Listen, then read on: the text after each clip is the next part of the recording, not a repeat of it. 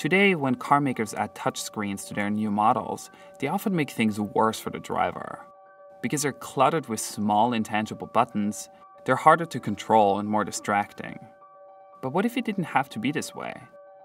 Let me show you how touch interfaces in cars could actually work. Instead of having a screen full of small buttons, let's make the whole thing one big control. The moment you touch the screen, the interface appears right under your fingers. It doesn't matter where exactly your fingers are.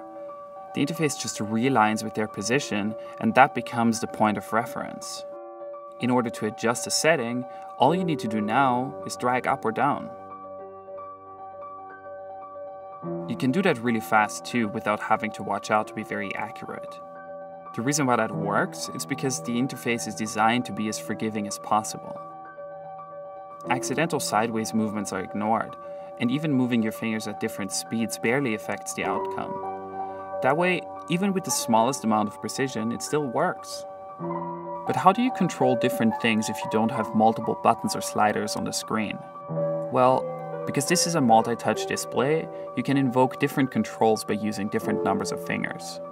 So with two fingers, you can control the volume. With three fingers, you control the music source. Four fingers control temperature. And five fingers control airflow. And they all follow the same principle. You place your fingers anywhere on the screen and drag up or down to make the adjustment. And if you look closely, you'll see that each control has a different sensitivity.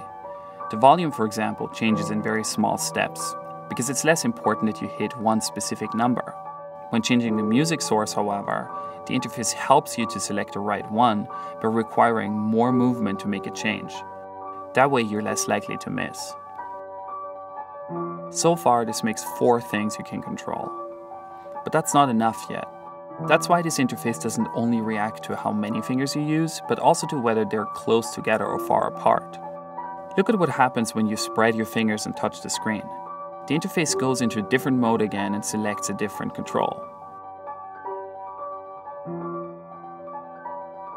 Instead of changing the volume like before, two fingers now let you scrub through your playlist.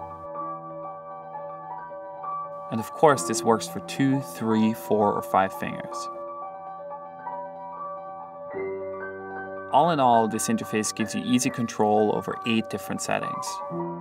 And it does that without you having to take your eyes off the road because you're being distracted trying to hit that one small button on the screen.